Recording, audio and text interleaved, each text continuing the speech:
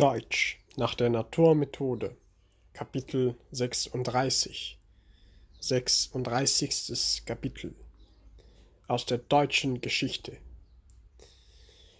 Nach dem Abendessen an einem der folgenden Tage sprachen die vier Reisenden wieder über alles, was sie bisher gesehen hatten.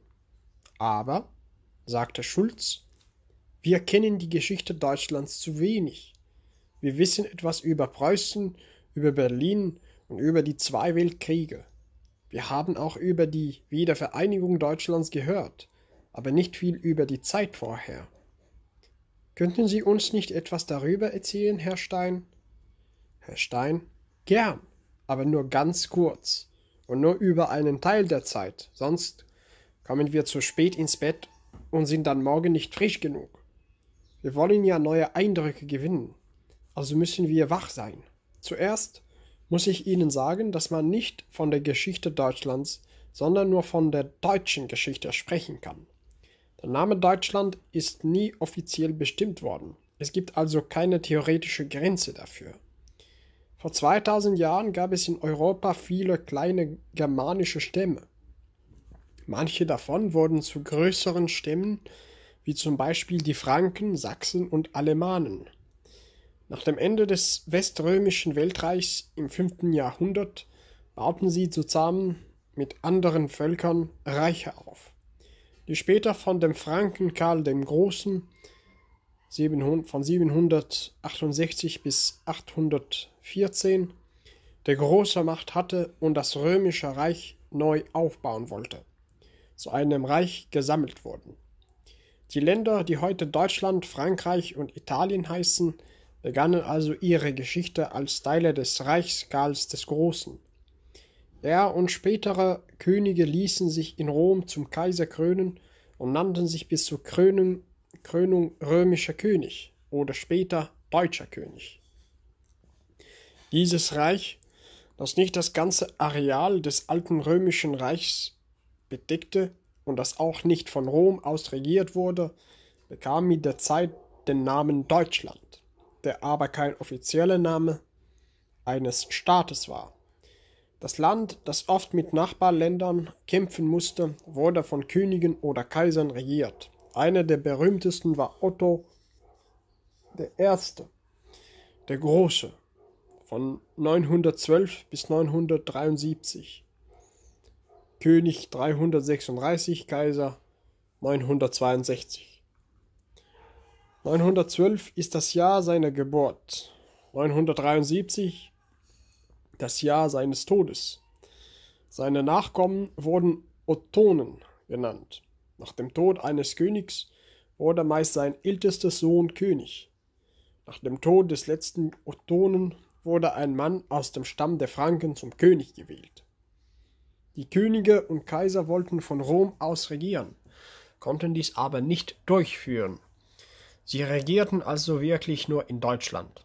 Nach dem Tod des letzten Frankenkönigs wurde Lothar von Supplingburg als Lothar ähm, der Dritte zum König gewählt. Als er im Jahr 1137 starb, wurde Konrad von Staufen zum König gewählt. Nach ihm wurde sein Neffe Friedrich I. Barbarossa Rotbart König. Auch er ließ sich in Rom zum Kaiser krönen. Er wollte sowohl Deutschlands als auch Italien regieren, doch die Völker von Italien kämpften viele Jahre gegen ihn, so dass er seinen Plan nicht durchführen konnte. Er ist aber bis heute der berühmteste Kaiser dieser Zeit, die das Mittelalter genannt wird, geblieben.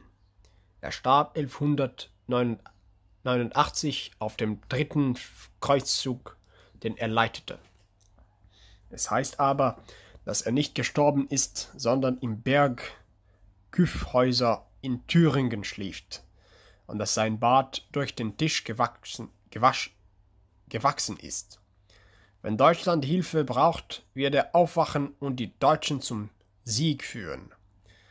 Nach Friedrich Barbarossa wurde sein Sohn Heinrich der sechste König. Er regierte aber nur wenige Jahre. 1190 bis 1197 und nach seinem Tod wurden zwei Könige gewählt, Heinrichs jüngster Bruder Philipp II. und Otto von Braunschweig. Sie kämpften miteinander und Philipp, dem Frankreich half, war nah am Sieg, wurde aber 1208 ermordet. Otto, dem England half, wurde König, doch der Sohn Heinrichs VI. Friedrich II. von 1212 bis 1250 kämpfte gegen ihn und gewann und wurde König anstatt Ottos. Seine Nachkommen gingen aber in Italien zugrunde. zugrunde. Der letzte Staufer Konraden wurde 1268 in Neapel hingerichtet. Nach einer kleinen Pause, in der sie Kaffee tranken, setzte Herr Stein fort. Das Mittelalter war, war eine schwere Zeit für viele, aber die Kurfürsten, die den König wählen durften, hatten große Macht. Und auch der Adel und die Städte gewannen immer mehr Macht.